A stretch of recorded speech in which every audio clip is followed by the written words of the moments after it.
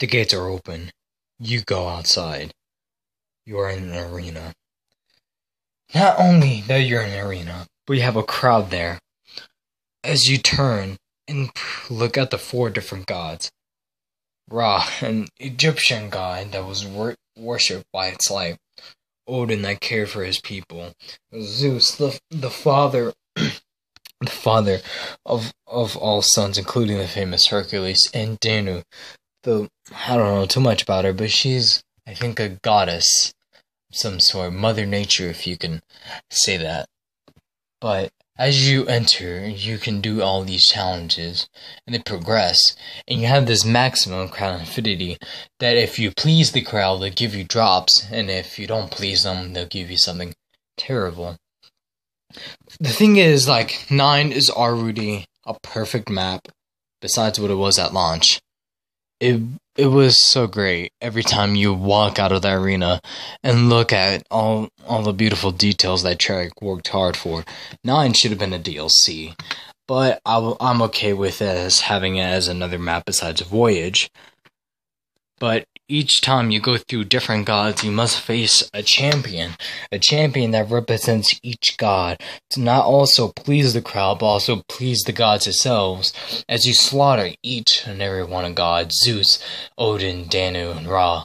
Their gods are finally pleased, and finally you get down to Pack-a-Punch to order to put the heads of the champions in order to unlock it. I find that to be really not that hard and really touching to touching because not only you'll get points, you also bring up your, excuse me, crown infinity. You know, the the whole purpose here makes perfect sense. Right after the cruise ship, you come to this cave, take a vapor, and you live the lives of the ancestors of Shaw, Bruno, Scarlett, and my boy Diego. but um as we live the bleh, as we live the ancestors of these characters, we know what we must do. That we had to prevent the order of the order, which is the pri- the priest, the priest guys or priest guys. I think, I think that's what pre. I don't know. I don't know if the order or the priest guys, but I'm just gonna keep calling priest guys.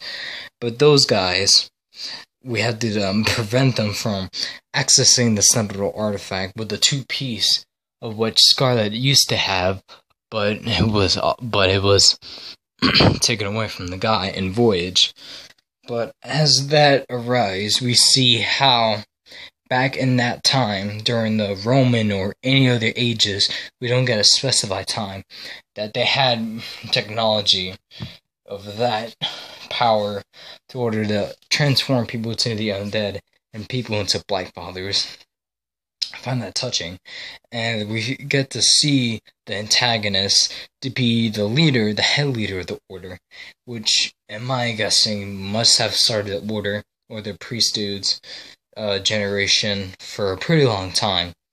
Because as we progress from Voyage to to um nine, we see that the order has been there for a long, pretty long time, but we don't know how to stop it. Maybe the goal is not only to rescue Scarlett's father, but also to prevent the Order to taking over the whole world and preventing them to turn people into zombies so they don't have to, like I said, excuse me, ruin the ruin the whole or take over the world. As the Easter goes, it actually makes perfect sense.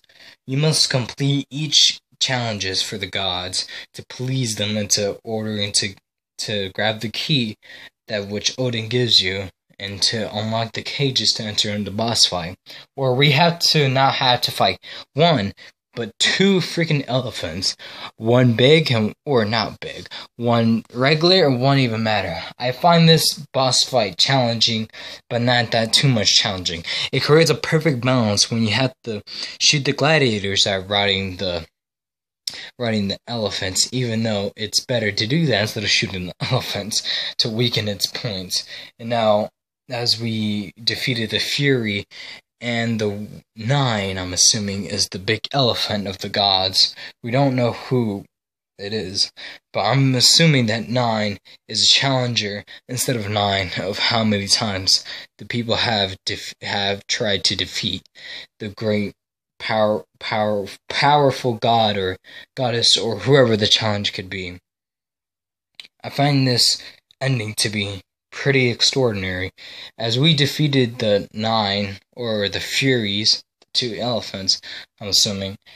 We have um somewhat prevented something from happening during that back time and have our characters have their head slices cut off, which was kind of flipping messed up as they freaking lived and now we die. But the thing is, through all of this, this is all an illusion. After we did this, our characters might as well wake up and continue forward on their journey. Not only to rescue uh, Scarlett's father, but also to prevent the Order from taking over everything. I find this pretty.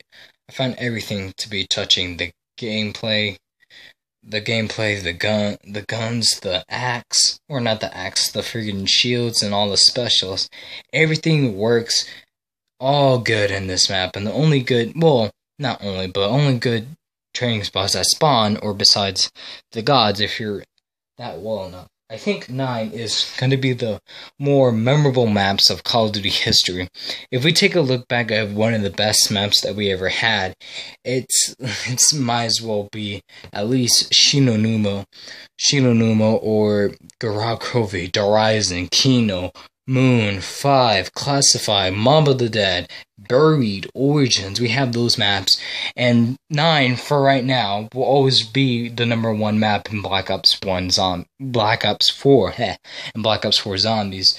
Due to how everything works all good and everything makes perfectly sense in all cases, 9 should be one of the maps that's going to be nominated for Best Map in certain games. Because if we take five games, including one at war, we can put nine right now as the number one game contender representing Black Ops 4. Because I feel like nine is the best repetition, repetent, repent, representation of the good zombies map they ever had. Black Ops 3 could be debatable. Black Ops 2 could either be buried or not buried. Origins or Mob of the Dead. And Black Ops 1, you already know what kind of maps we're going to be debating about. But L innovated from World at War, and we had great maps. And 9 will forever be one of the number one better maps that we're to have in Black Ops 4 Zombies throughout this one year journey we're to have a track. I hope with the DLCs, it's gonna relate to how the order is gonna either prevent or excel their goal into taking over the world. We shall see throughout the whole DLCs, see what happens. But right now, 9 is the number one map in Black Ops 4 Zombies that everybody should play. That's my personal opinion. That's how I feel about this map. It's the number one map that should be represent as the Black Ops 4 zombies right now. But yeah, hope you guys enjoy. And my name is PhantomGhost239. Let me know your thoughts and opinions about 9 and what do you think about the map. If it's a good map or if it's a bad map, I would like to hear why. And anyways, guys, I hope you guys have a wonderful day and bye.